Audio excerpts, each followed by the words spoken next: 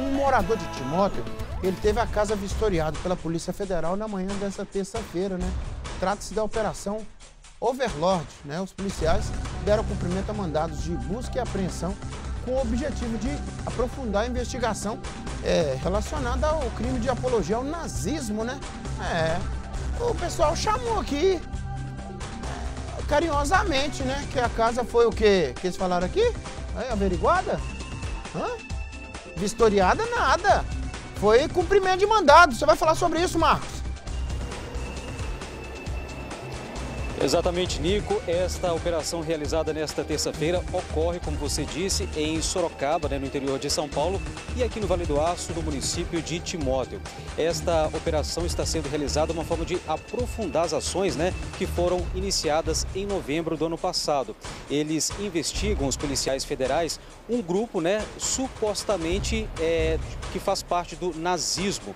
É, foi, é, conforme a denúncia, né, o grupo foi criado por meio de um aplicativo por onde eles colocaram colocaram fotos né, e nomes. Né? Eles colocaram nomes que fazem menção ao nazismo. De acordo com a Polícia Federal, alguns dos possíveis integrantes né, foram identificados e as ordens judiciais foram cumpridas na data de hoje para esclarecer né, que, é, sobre esta operação que teve início no ano passado. Os mandados de busca e apreensão foram expedidos pela Justiça, pela quarta é, Justiça Federal em Sorocaba, sendo cumpridos nas cidades do interior de São Paulo, em Sorocaba, e também aqui na região do Vale do Aço. Nesta residência, no município de Timóteo, foram apreendidas durante esta operação uma faca, vários materiais e também uma, uma, um machado que faz parte desse suposto grupo nazista.